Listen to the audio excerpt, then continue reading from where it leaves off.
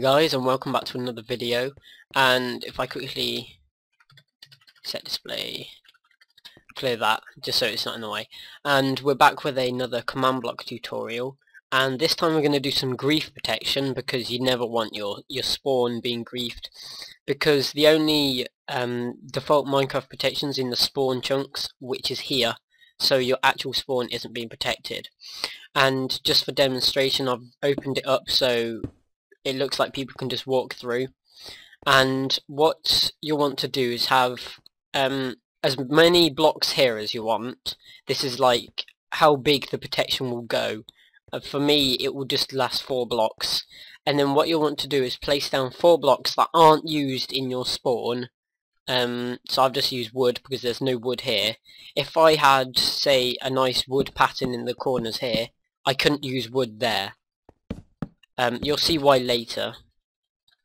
But for now, just have as many blocks before the wood as as you want. So that'll be how far the protection goes. And then have um, at least four blocks of a block that isn't used in this in your spawn. And you'll see why. Now, as you see here, it's kind of all cramped around and there's only one clock there. So I'm going to use a new technique for using redstone clocks, which um, a guy called Daniel Edits told me about, where you you basically fill an area with, say, redstone blocks, replacing another type of block.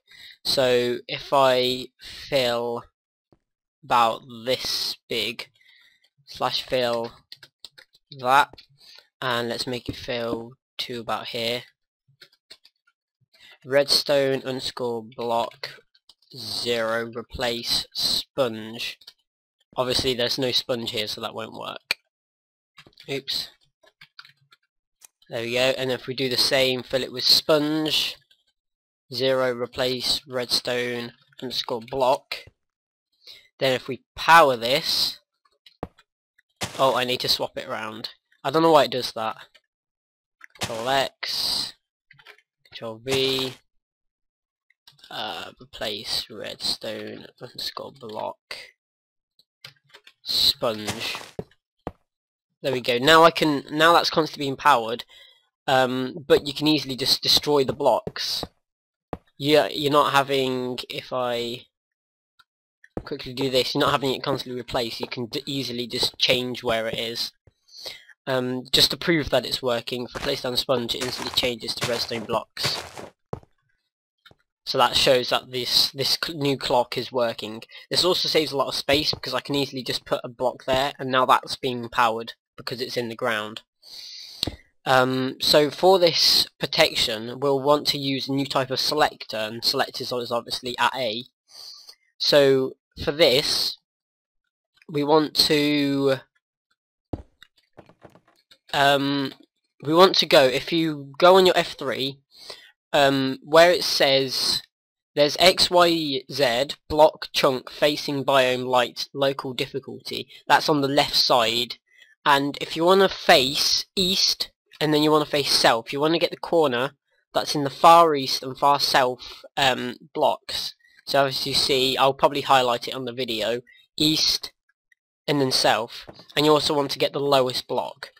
So here, you want to do at A, and then like a square bracket, minus 60, comma, 100, comma, minus 3. So that's the coordinate of this block that I'm looking at, as you see at the bottom of the F3 menu thing. And now you want to find out how many blocks is east. So it's 1, 2, 3, 4, 5, 6, 7, 8, 9, 10, 11, 12, 13, 14, 15, 16 blocks east. If I get rid of that.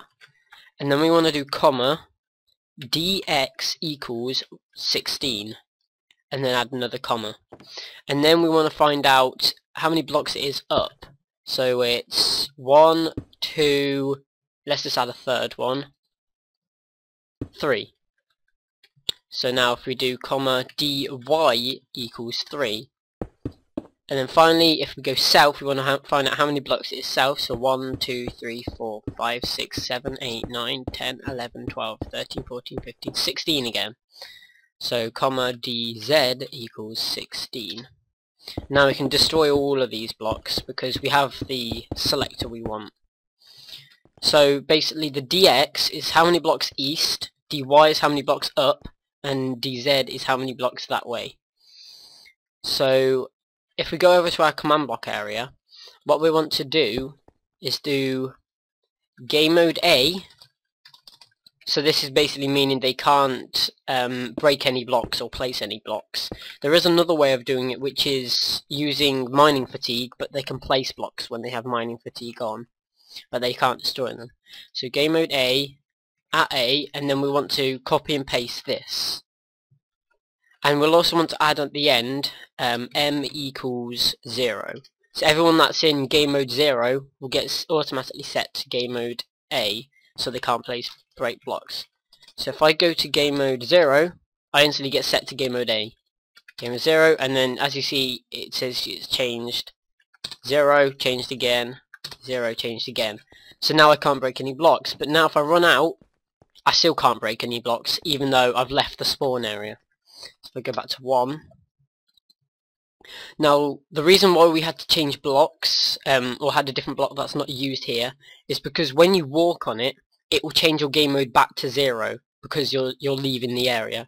And the reason we want a, a at least four block gap, probably about five block gap, is so that you can't reach those blocks. Because if you're stood here, as you see, I, I, at least five blocks is probably best instead of just four like I've done. Because if you stand here and they're in game mode zero, you can break the blocks that are there. But if you're five, you can't reach it. And the reason you want at least four blocks of the other type of block, in my case wood, is that you can jump over it and um, so if you're in game mode 0 here, you can jump over and reach here and just easily just grief it all. So now we want to get the coordinates of uh, here and then all the way over to the other side. So this time we'll need a, a we need the dx and dy and dz to be slightly bigger now. So if we do at a again, minus 64, comma 100, comma minus 7. Now it's 1, 2, 3, 4, 5, 6, 7, 8, 9, 10, 11, 12, 13, 14, 15, 16, 17, 18, 19, 20, 21, 22, 23, 24 blocks. And it would be 24 going the other way because this is a perfect square. And it will be 1, 2, 3 up. So d x equals 24, dy equals 3, dz equals 24. And now we'll be using a command called execute. Execute basically executes a command based on whoever you select it to be. So if I do me, and then you need to do three of them, because that's where it's going to execute it, slash say, hey, it will make me do slash say. So if I do normal slash say, it does the same thing. So I could even do execute slash summon pig tilde tilde tilde. So now it will summon a pig at me. It's as if it's running it for me. Uh, let me just kill these pigs. That's loud. That's loud. Okay, um, so now it's set their game mode constantly. Um, now we want to copy this place down another redstone block and now we want to do execute at a in that area tilde tilde tilde detect tilde tilde tilde because it's basically detecting what people are standing on um, well it just detects blocks around them and but we're going to make it so it's the blocks they're stood on so it's execute entity tilde tilde tilde command or execute entity tilde tilde tilde detect tilde tilde tilde block data command. So we want to do planks 0 because it's um, got no data value. Well, it's got a data value of 0 because it's the main wood. And then we want to do the command. So slash game mode 0 at p because we want it to only work on them with a mode of A. Because otherwise, if I take away that, and just make it at P game mode 0 say I've just come in I'm ready to go look at the rules or whatever. You walk in, game mode's been updated. Okay, that hasn't worked. I'm setting game mode's zero. Let's go see what the problem is. Oh, I need to go back into game mode 1. Fail to execute detect. Plank 0. Wait, what type of planks is that? I might have got it wrong. No, it is plank 0. Wait. Yeah, planks. Some XP there. Okay, so... Let's just copy and paste the command into... Let's make sure it fits, yeah. Control V. Failure to execute detect. Uh, oh right, you gotta do minus one. There we go. Yeah, it's gotta be minus one um, on the second set of uh, tildes because it's detecting in relative to you. So you want it to be um, minus one, which means the block below you. So that was my mistake. So now if I go do it, yep, look, it's just spamming you. So we only want to do it if you're in game mode A. So M equals 2. So now I'm in game mode 1, nothing happens. Game mode 1 here, nothing happens. So all your stuff will be fine um, in the spawn area, they won't get set. But if I go down to 0, say I'm coming in to read the rules, I'm now game mode A, walk back out, I'm game mode 0 again.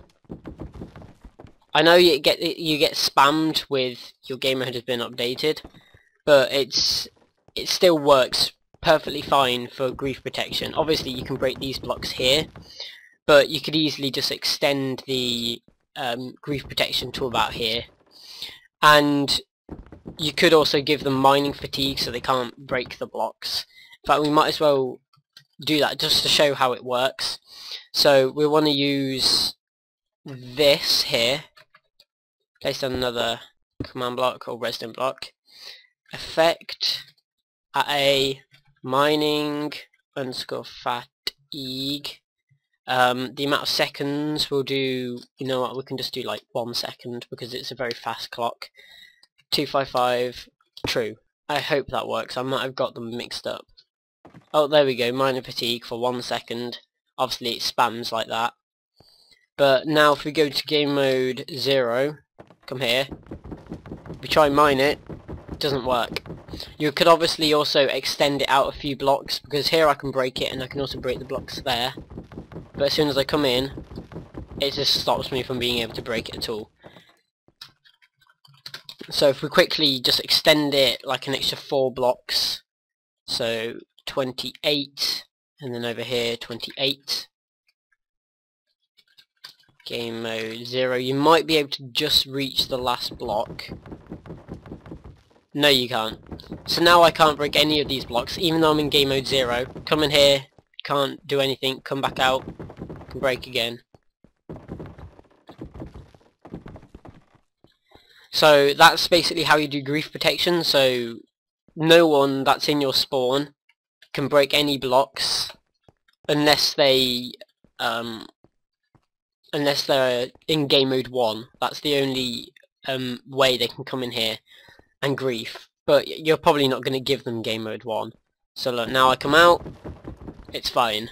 Go back in, changes, changes, changes. So your entire spawn's protected and so is this bit. For some reason it doubles. Okay, it changes one, two, three, four, five times there. But if I come here, it does it five times. Oh, I think I know why. It's because it's... Well, it doesn't really matter because they're... Oh dear, I'm going to starve to death.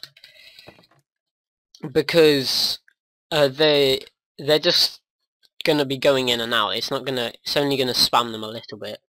Um, it does that because the game mode 0 bit is here and the game mode A bit's here which is right on the edge so if you walk slightly onto this block uh, if I go into F5 as you see I'm slightly on both So it, th it thinks I'm in game mode 1, but it also thinks I'm in game mode A at the same time. So it does that. So if you leave, say, a one block gap between, if we made spawn protection, if I go back into normal, here, and that way, and that way, you won't get that spam, because it's setting your game mode A here, but game mode 0 here. So that's how you stop the spam appearing. Well, I'm, I'm assuming that's how you stop the spam. Um, I think that's it for this video. So thank you guys for watching and I'll see you in the next video.